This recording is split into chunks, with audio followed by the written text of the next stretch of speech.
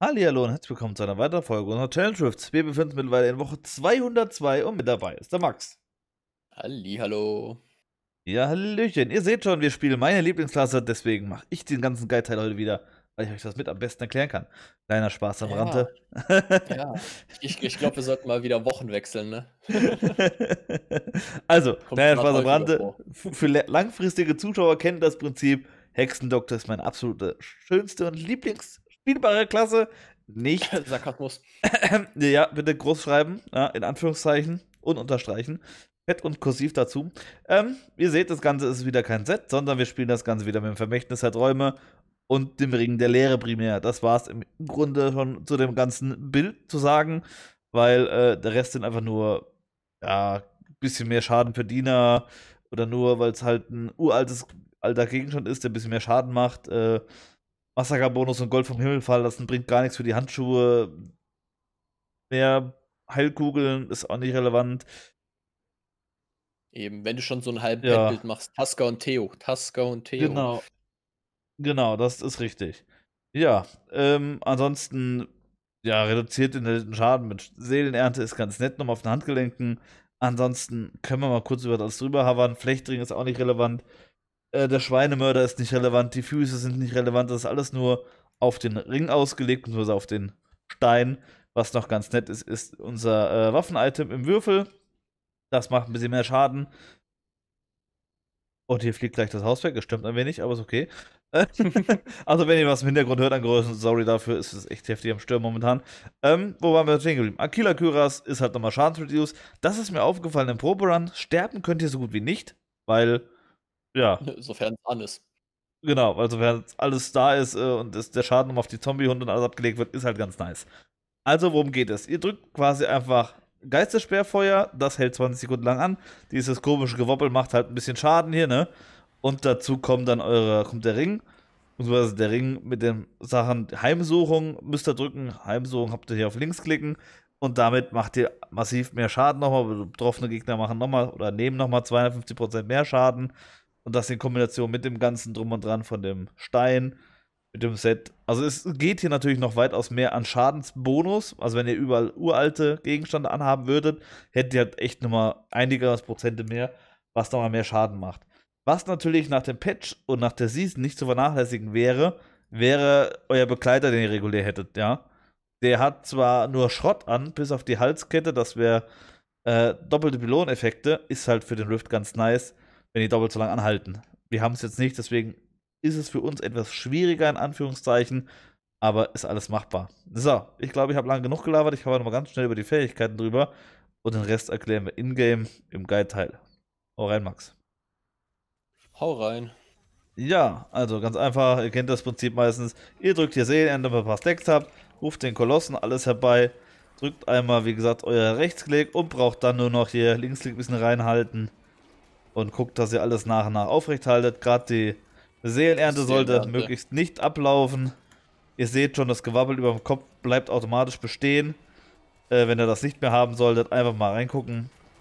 Habt natürlich auf Fall 1 noch den Geistwandler drin. Der ist natürlich ganz nett, um aus welchen Auswegs Auswegssituationen rauszukommen, wenn ihr was habt, so wie das hier zum Beispiel, oder mal gewurzelt werden solltet oder was, whatever. Also gibt es genügend Möglichkeiten, wo man das einsetzen kann. Und ihr seht schon, Ja.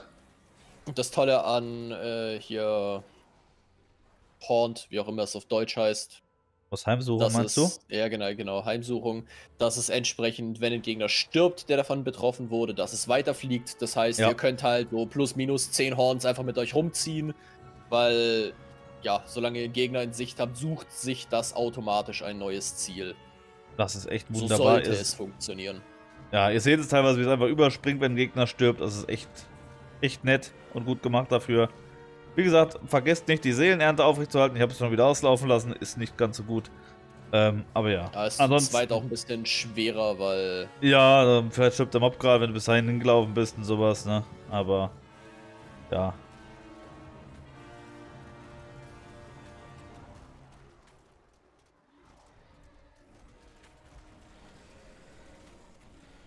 So, aber es läuft deutlich besser als im Proboran.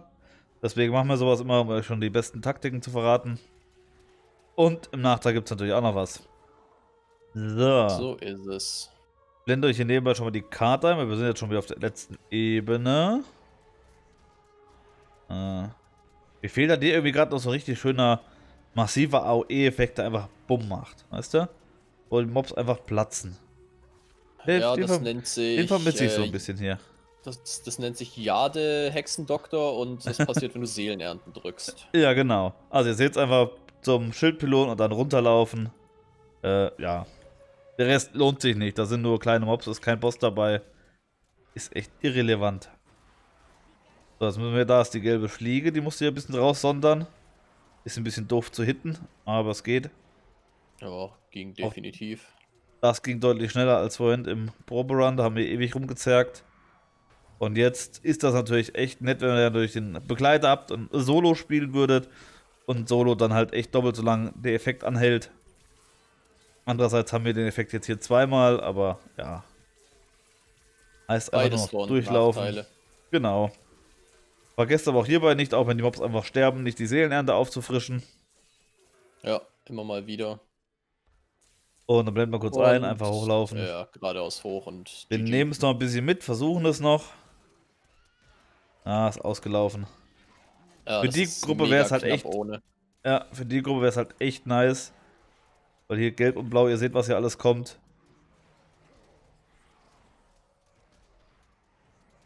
Ja, und da haben wir den Laser und die Festwurzeln. Das ist nicht nett, aber Geistwandler regelt das. Und auch das lief gerade besser als im Proberun. Ja, Ja, also die Gruppe ist echt ein bisschen böse, da müsst ihr aufpassen. Wie gesagt, Solo habt ihr kein Problem, da haut ihr die einfach mit dem Verbindungspylon weg. Ansonsten kann ich euch einen Tipp geben, wenn ihr zu zweit, zu dritt seid, lauft einfach ein Stück nach oben, kommt gleich noch ein Pylon. Den könnt ihr mitnehmen. Max hat ihn gerade aktiviert. Und dann äh, geht das auch mit Speed besser.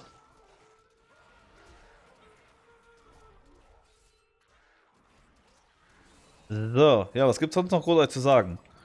Nichts wirklich Nix. viel. Also, das ist ein einfacher Bild. Sehr statischer Bild, sag ich mal. Braucht nicht viel machen. Rechtsklick, Linksklick, das war's. Beziehungsweise links gedrückt halten. Rest regelt sich von alleine. Ab und zu mal euren Koloss wieder beschweren, weil der meines Erachtens stirbt recht, relativ schnell oder ist einfach weg. Aber ja. Uh.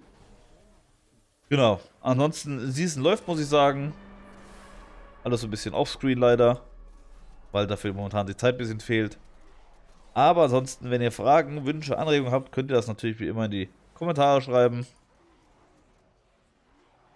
Und der Boss, die komische Might hier, ist auch relativ easy. zügig von uns gegangen. Und dann haben wir derzeit eine Zeit von ah, 4,49. Wird keine Bestzeit Oh. sein. Oh, bei ein 47. 47, Geht, geht. naja, so ein bisschen. Wir überlegen es noch was, um uns irgendwie in die Top 10 rein zu quetschen. 20 Sekunden kriegen wir bestimmt noch hin. Ansonsten würde ich sagen, war es das vorerst. Wir sehen uns gleich im Nachtrag. Ja, willkommen zu unserem gewohnten Nachtrag. Ihr seht's, die Zeit hat sich ein wenig verbessert. Wir sind circa eine Minute schneller geworden, aber stehen an derselben äh, Stelle. Was haben wir verbessert? Gucken wir kurz Leaderboard an. Platz 1 ist uns vorerst sicher. Da kommen noch andere Leute, wir sind wieder sehr früh am Dienstag da. Ähm, ja, wir stehen relativ zeitnah oder zeitgleich äh, am selben Punkt. Wir haben das einfach aufgeteilt, also Ebene 1 relativ zügig gleichzeitig cleared. Ab dem Schildpylon, wo die Yetis stehen, äh, hat Max mir geholfen mit dem ersten Yeti, den zweiten leicht angeht, sodass der Max dann weitergelaufen ist bis zum Ebenenende. Ich habe die Yetis getötet, bin nachgelaufen, habe dann die drei Skelette oder was es waren getötet Ja, oder die Zombies. Genau. Max ist vorgepusht, hat dann auf Ebene 3 die Fliege gemacht. Ne? Ich habe die blauen So auf. Ebene 2 gemacht. Ne? Ich bin durchs Portal, habe angesagt, hier, ich komme durchs Portal, bin durch, lauf weiter. Max ist vorgelaufen, ich habe die Fliege gemacht, ganz normal, easy going. Ähm, haben den, Max hat den Pritzelpylon, den Verbindungspylon nicht angeklickt. Ich habe erst die Fliege geklärt, bisschen Trash geklärt, geguckt, dass Max weit genug vorgelaufen ist. Ähm, habe dann angeklickt, dass Max hier auf dieser Ebene quasi unten nämlich äh, die Spinnen und den irgendwas anderes töten kann. Ich weiß gar nicht, was es war für ein gelber ein Mob. Lakuni. Ja, so ein Lak- Lakuni, so ein Ja, großer. so ein Lakuni mit seinen Idioten und den ganzen Dingern hier unten töten kann. Ähm, ich hatte das Glück, dass ich auch gerade noch so mit den letzten drei, vier Sekunden vom Verbindung reinkam, was echt nochmal geholfen hat. Dann sind wir vorgepusht. Hier oben beim Beat ist nochmal ein blauer und hier oben waren nochmal zwei blaue. Und damit sind wir durchgekommen. Sollte euch das Ganze nicht reichen und ihr braucht noch Trash, lauft nach oben weiter, unten eine Sackgasse. Nach oben geht es nochmal so einmal links rum und dann geht es auf Ebene 4, 5 schon, nee, auf fünf. Ebene 5. Ja, und Ebene 5 braucht ihr nur nach oben laufen, habt ihr da auch noch eine blaue Gruppe. Also daher sollte euch das reichen. Ähm, das ist so unsere Taktik gewesen, die wir jetzt veranstaltet haben, die eigentlich in relativ vielen Challenge Rifts wieder funktioniert. Die muss man ein bisschen ja, üben bei und gucken. Zwei Spielern halt. Gerade bei zwei Spielern, ja. Musste halt ein bisschen gucken, was, wann, wo, wie. Ne? Das muss man ein bisschen timen. Auch diesen Run haben wir quasi jetzt zweimal gemacht oder dreimal gemacht. Unsere erste Zeit war Platz drei oder vier. Das hat uns aber nicht gereicht, deswegen haben wir nochmal nachgelegt. Ähm, ja, und sind dadurch jetzt eine Minute schneller geworden als zu Beginn. Wie gesagt, es ist einfach nur alles einmal drücken, einmal Rechtsklick drücken und dann Linksklick festhalten und dann wird dadurch alles nach und nach geklärt.